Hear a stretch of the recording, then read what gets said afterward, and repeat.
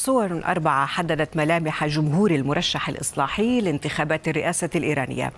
هذه الصورة أظهرت الحضور الكبير للشباب في التجمع الانتخابي في أصفهان والذي شهد عرض أغنية براي ومعناها من أجل والتي انتشرت بشكل واسع خلال احتجاجات عام 2022 أما هذه الصورة فقد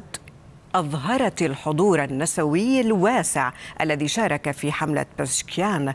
على أن هذا الحضور النسوي لم يتوقف فقط عند المحجبات بل شمل أيضا الفتيات غير المحجبات. أما هذه الصورة فقد نشرها مسعود بسكيان خلال صلاة أمها كبير المفاوضين النوويين الإيرانيين السابق عباس عرقجي وبحضور وزير الخارجية السابق محمد جواد ظريف ومساعد الرئيس السابق حسن روحاني وعضو فريق التفاوض النووي مجيد تختروانجي فيما يرى المراقبون بأن بزشكيان بعث بعدة رسائل داخلية وخارجية حيث أنه يسعى للخروج من المشاكل التي كانت الحكومة السابقة تعانيها.